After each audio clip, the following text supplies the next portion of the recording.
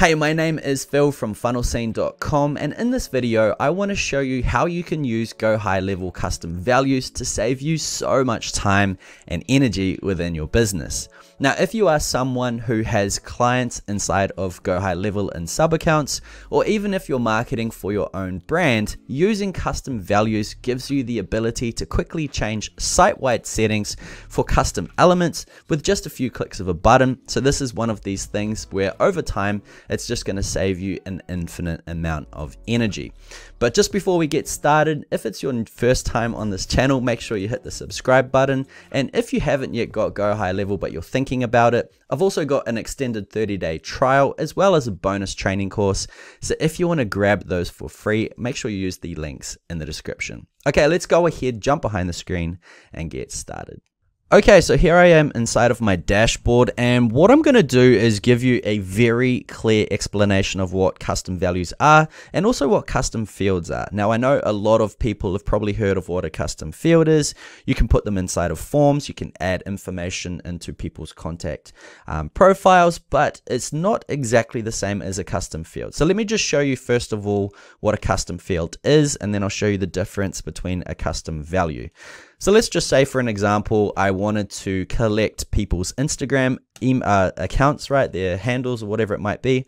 What I could do is come inside here, add in a new field called Instagram, and then I can add this inside of a form. And what it's going to do is inside additional info, there is a section where people can add in their Instagram account. Now, the way I see people using custom fields in the most generic possible way is let's just say we ran a campaign. We wanted to know what people's say fitness goals were. If it's a weight loss program, like how much kilos are you wanting to lose, things like that. We could create a custom field saying, you know, weight loss goal, and then you can have a, an amount there, and it's going to show inside of their profile in whichever folder you want it to add. So think of a custom field as a personal attribute to a contact. But when we come to custom values, think of a custom value as something connected directly to the sub account, right? Not just a contact. This is for a sub account. Now, the cool thing about this is we can get extremely quick with onboarding clients. We can quickly and easily create sub accounts for clients, or it could even be sharing funnels for others by using custom values. And let me show you why. So I've created this quick um, this quick template inside of Go High Level, right? It's one of the ones that they give you inside of the template um, pack. Let's just say I use this template a lot. I've got maybe 100 clients coming in in the next two months, and I need to quickly change things like their brand colors. I need to change maybe their business names, their mottos, you know, whatever their suburb is, everything like that. But to do it all manually is going to take such a ton of time. Let's just say I wanted to add in a blue here and then change the button to blue, change all these little lines, everything to blue. It's going to take such a long time. But let's just say I go ahead and create a custom value like I have here right? So I just quickly created one. I'll just show you how you can do it. So I'll just put in here secondary value, okay? And then we can put in whatever value we want. So this is going to be a color value. Let's just say it's going to be um, two. So go ahead, click on create. And now we've got this secondary color value we can use. Now you'd obviously do it for primary first. I've already got it here, but let me show you how it works. So let's just say I'll um, gather this short code. Let's go back to the website editor. I'm going to click on the section where I want the color changed. And here we've got background color. You click on that and what we have here is the basic options. You can also add one if you want, but we can also add in a custom value. So what I'm going to do is put inside here primary color, okay, and then I'm going to paste in this short code. Click on add color and you can see it is now blue. Now you might be thinking, hey, that's cool. You know, you can now quickly come in here and change the colors, you know, not a big deal. Here is where things get exciting. Let's just say you onboarded a new client, you shared the snapshot with all of the assets inside of it.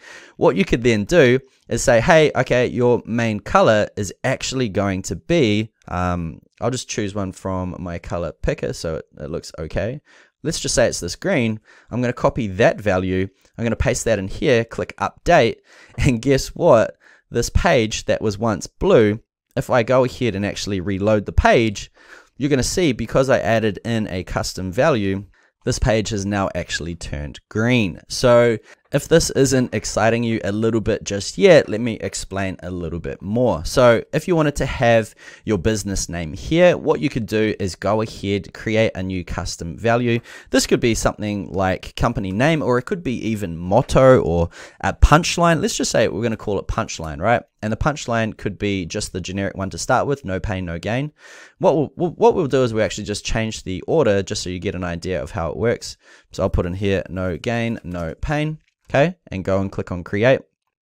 What we could then do is go grab this new custom value, which is punchline, okay, paste it inside here, right, like so, and I'll go ahead, click on save. Now, if I just reload the page, so every time you add in a custom value, you want to add in, uh, you want to save it and then reload it just for the value to actually appear.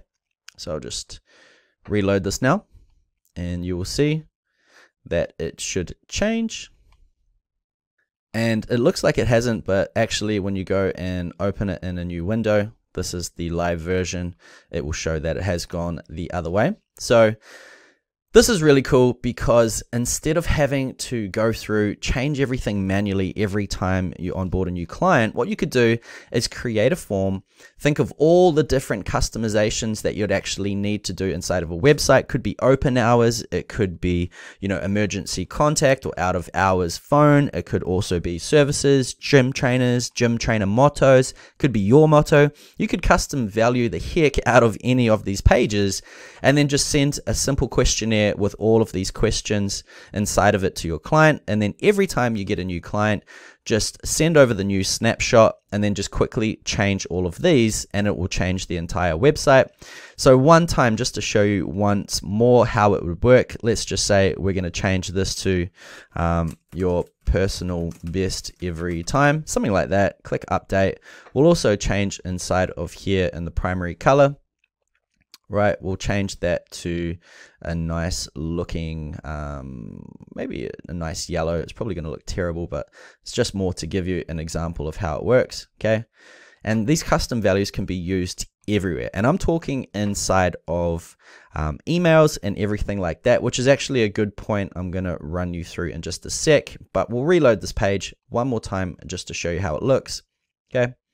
So a few changes and it's changed everything so if I really wanted to get super custom, I could have a custom value for the background, for the logo.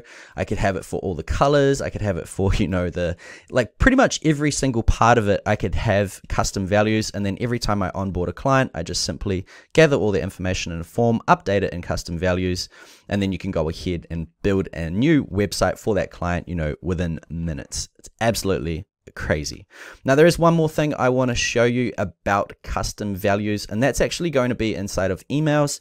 Now, the reason you want to do this is if you are testing or if you have a lot of employees, things like that, and you've built out so many different automations, and let's just say your email strategy is using the automation builder, right? And let's just say you've typed in people's names manually. So let's just say it's from Phil. Let's say the email's from this, for example, everything like that. And then all of a sudden, you have to change it. It could be this person's left or your email address has changed. Maybe you've even rebranded. You're going to have to go through every single email or inside of the settings and change it. It's a little bit of a hassle. But what you could do instead is create these custom values. So from email address. So instead of adding in um, the email address directly into each one, you could just add in this custom value. And instead of sending out, um, instead of having to change every uh, name and every email inside of your emails, you could actually just change this one thing and it's going to be site wide. It's going to change it everywhere where this short code is embedded. I hope that makes sense, but this is honestly just going to save you so much time in the long run. It's just a very smart way that you can actually build out all your automations, all your websites, everything like that. And down the track, you're just going to save hours and hours and weeks and days and months and everything like that. So hopefully that makes sense.